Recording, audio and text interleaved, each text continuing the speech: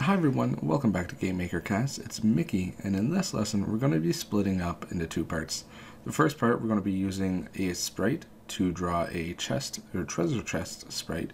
It's going to be animated and we're going to export that into GameMaker Studio and we're going to learn how we can code a treasure chest so we can interact with the player. Now we want to create a new file We'll start with width 64 by 32. And we'll say that you can do this in GameMaker. I just find this program a, has a lot more features and it's a little bit easier to use since it is a pixel editor. Alright, the first thing I want to do is choose a palette to work with. I'm going to be using Edge 32, mainly just because I like the purple colors. Okay, so I'm going to start off with a dark brown, and I'm going to use some of the symmetry methods here. This just makes drawing a lot more easier. So I could pull this in, and you can see it's drawing on the top and bottom. If I just do the left and right, again, it will draw just left and right. It won't do the top and bottom. So I'll just drag it in, and let's do here, and drag it down. Yeah, that looks pretty good. So we have kind of a round chest. Now we'll choose a gold color, and let's fill this in. We'll go all the way down to the bottom and over. And we'll pick our brown again and come up. Whoops. Let's take this yellow again and fix that up. Okay, so there's the outline of the chest. We want something to go straight in the middle here. So let's use the brown. We're going to go all the way across. I'm having some mouse issues here, so just give me a second to clean this up. Okay, so we have that. And now I want a brown in here. Now what I can do is I could just use this brown here and oops, let's fill it in. And now I'm going to need a lock. So for that I'm going to make a new layer and I'm going to call layer 1 the base and layer 2 will be our lock itself.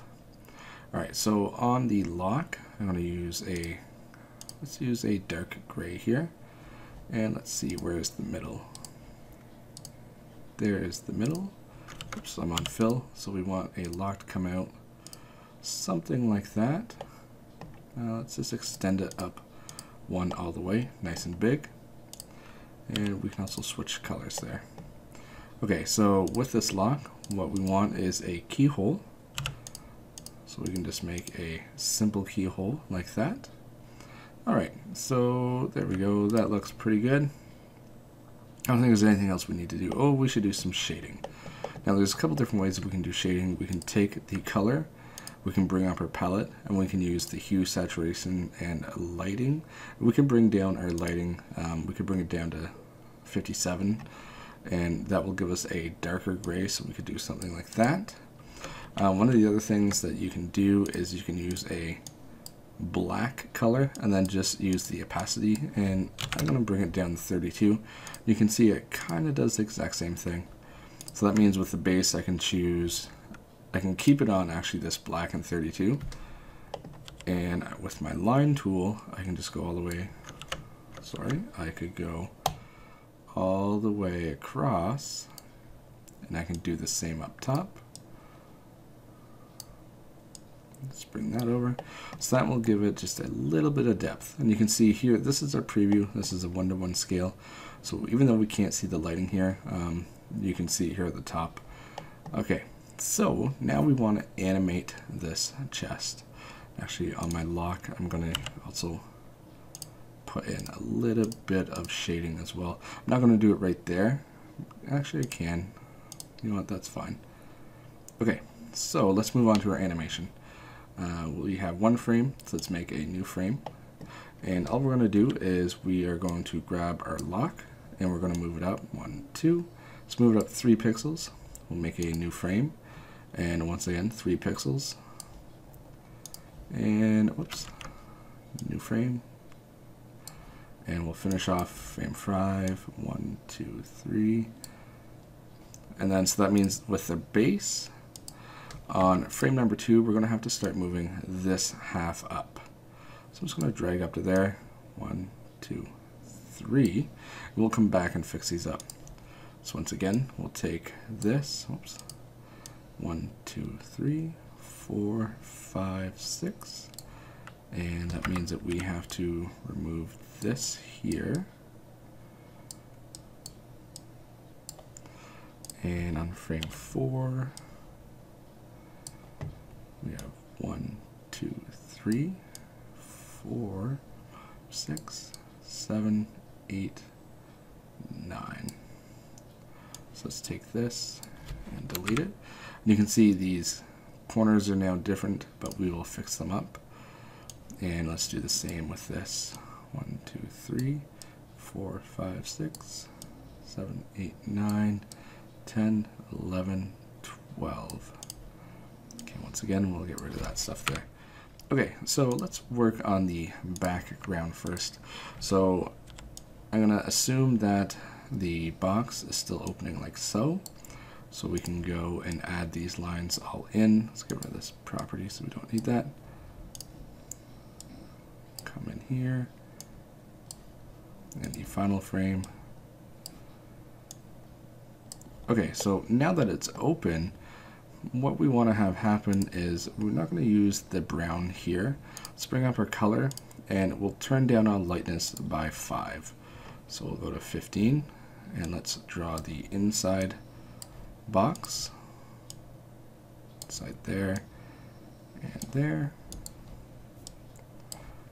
And this is just, it's a little tedious, but uh, hopefully the effect will be nice. Alright, now let's work on the gold part. We'll keep the line going all the way across, and let's take the lightness and let's go down by 5 again. And we'll draw it in. And we'll go to the next frame and draw it in. The next one. Should just use fill here. Okay, now the other thing I want to do is fill in this area here. So I'm going to choose my dark brown and come back and I'm going to put it down five more and just fill it in. Looks pretty good. Okay, so now we have those properties back up. So now we have everything filled in. Now let's work on fixing up here. So I'm going to take the shadow that I have and go over to frame 4 because it gets destroyed there and actually this gets destroyed too. So I will draw that out and then I will put our shadow back in. And all I actually did was I took the shadow color and then I took the brown color and those are my two colors that I'm using to draw with my left and right click. And now it's just going to be basically doing things by eye.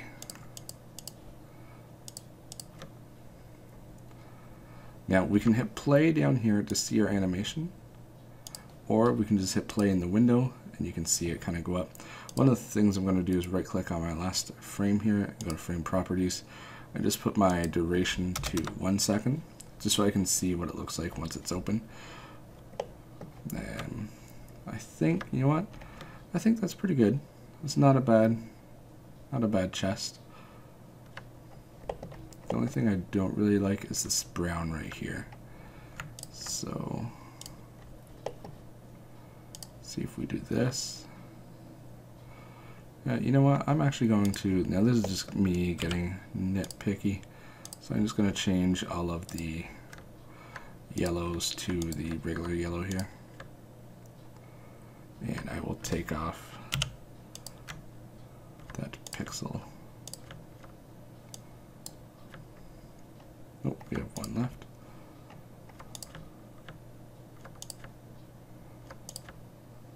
Okay. Yeah, that looks pretty good. Okay, so I am going to leave this. Uh, this is going to be the sprite that we're using. So I'm going to say export as a sprite sheet, and what that is going to do, I'll show you one second. So we're going to export as a horizontal sprite, and the output file uh, we will name as treasure chest strip.png. We'll say OK. And make sure that we have a padding, we'll use inner of 2. So if I hit export, this is what we're going to get. So we have two padding along the left and top and bottom and right. And it just basically generates our sprite sheet for us, which we can use to import into GameMaker Studio.